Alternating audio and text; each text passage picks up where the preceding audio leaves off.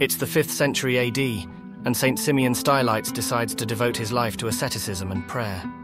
Unconventional even among hermits, he takes residence on a small platform atop a pillar, some 50 feet high.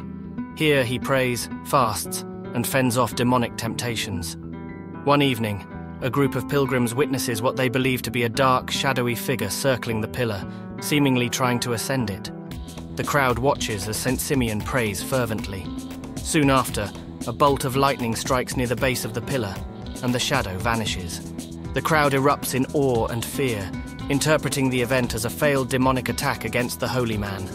The story of St. Simeon Stylites serves as a testament to the saint's enduring piety, but also as a chilling account of the spiritual warfare he had to navigate from his unusual perch. Subscribe for more stories of theology and history.